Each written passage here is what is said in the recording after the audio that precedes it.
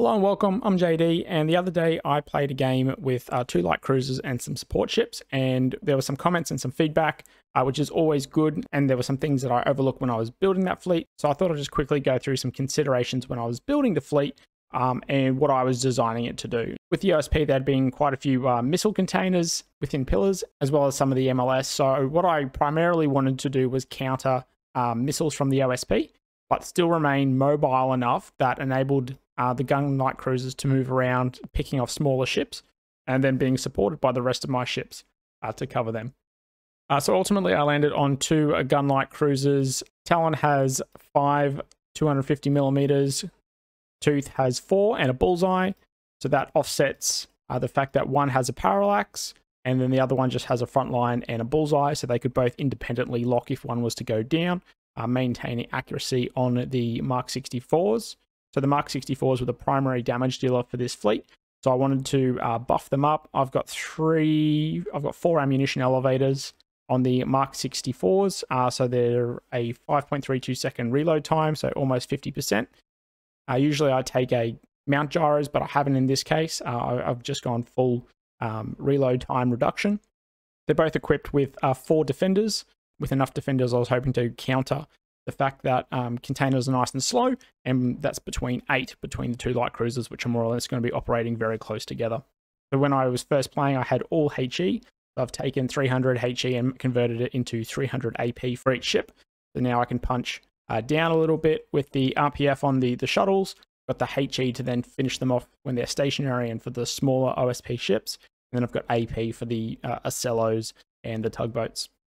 Uh, otherwise, I think the other main thing here is just a Whiplash and Dragonfly. I could probably swap one of those out for a radar drive. Um, however, I just haven't uh, got the ability to switch those points around at the moment because I've also taken my power to the max. So that's the mainstay of the combat power of the fleet. I'll just give you a quick squiz down on Tooth.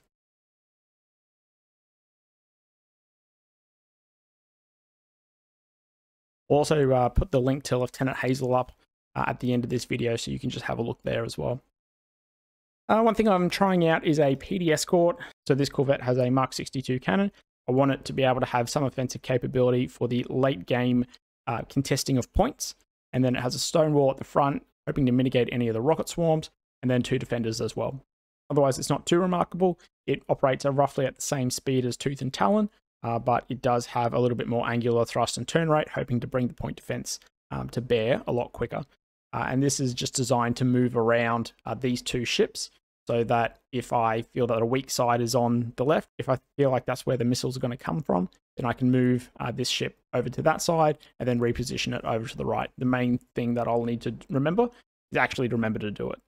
Completing the sort of the quartet and probably hanging back a little bit is um, the Adora, just a frigate, two blanket jammers, which now that I remember, I need to put these in a group and it's got two rebounds. The purpose of the rebounds is again simply just trying to counter any rocket swarms. The only other sort of buffing module here is an actively cooled amplifier, simply so I have the maximum amount of uptime uh, for the blanket jammers. And to round it out, I've got the uh, Mimic, which is a spyglass Sarissa. As its name states, it has a spyglass with a scryer, so I can see what missiles are incoming, best way to counter them. And then I've got four Sarissas um, and this is made possible by two plant control centers as well as uh, an extra drive, an extra reactor, I should say. Again, that takes it pretty much up to its power limit. The idea is that, like you saw in the game, it sits above, it's able to provide early warning and identification of missiles, and then it's able to also uh, engage those missiles at the longest range, whittling them down so that by the time that they get to the main body of the force, there isn't too many. Uh, Sarissas are pretty fast and pretty accurate at the moment, so uh, with 500 shots, it should be okay. Could I ideally drop one or two of the Sarissas and put something else, such as uh, electronic warfare, on there? Potentially, and I'll play with that in the future. So that's it. This is uh, the combat squadron that you saw. I'll have Lieutenant Hazel's breakdown at the end uh, so that you can just have a look at that format. And then you can also uh, download it from the Steam Workshop, play with it, modify it yourself. If you use the same names, then I'll be able to know what's on those ships if we ever meet in, in game. However, um, yeah, feel free to play with it and make any adjustments as you like. All right, thanks for watching and take care.